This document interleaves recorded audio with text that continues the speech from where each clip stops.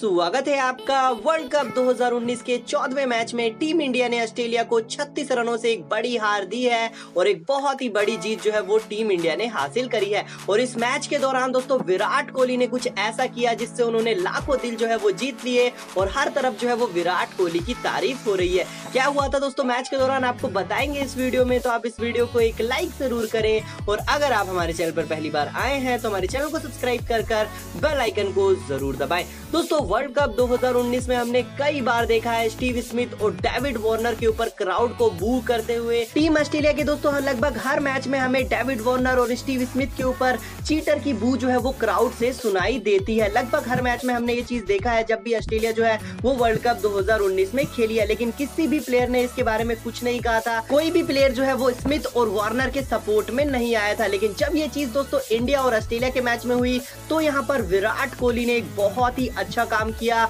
और यहाँ पर एक बेंच जो है वो सेट किया, जहाँ पर आपको बता दें, जब विराट कोहली बैटिंग कर रहे थे तो क्राउड में से स्मिथ को लेकर जो है वो चीटर की बू आ रही थी क्राउड से आवाज़ें आ रही थी और इसके बाद विराट कोहली को जो है वो काफ़ी बुरा लगा। इसके बाद विराट कोहली ने क्राउड को स्मिथ को बूड ना करने का इशारा किया, साथ ही साथ उनके लिए क्लैप करने का भी इशारा किया। और दोस्तों, इसके बाद वो स्मिथ के पास भी गए और उन्हें हाथ मिलाया और बाद में उन्होंने बताया कि उन्होंने स्मिथ को जो है वो क्राउड के बिहाफ पर सॉरी भी कहा था। तो काफ़ी बड़ा काम जो है यहाँ पर विराट कोहली ने किया है, जिसके बाद काफ़ी ज़्यादा तारीफ़ उनकी हो रही है। बहुत ही अच्छा काम जो है ये विराट कोहली ने किया इसके बारे में दोस्तों, विराट कोहली ने मैच खत्म होने के बाद भी कहा, जहाँ पर उन्होंने कहा कि स्टीव स्मिथ ने ऐसा कुछ भी नहीं किया कि उनके लिए जो है वो बूट किया जाए। उन्होंने कहा कि जो उन्होंने गलती की थी, उसके लिए वो सजा काट चुके हैं और यहाँ पर वापसी कर रहे हैं। बहुत ही मेहनत उन्होंने करी है, बहुत ही हार्ड वर्क जो है वो वो उन्होंने किया है। और ऐसे में उनके लिए जो है वो क्राउड से बूट की आवाज़ नहीं निकलनी चाहिए। उन्होंने कहा कि क्राउड में जो है वो ज़्यादातर इंडियन सपोर्टर थे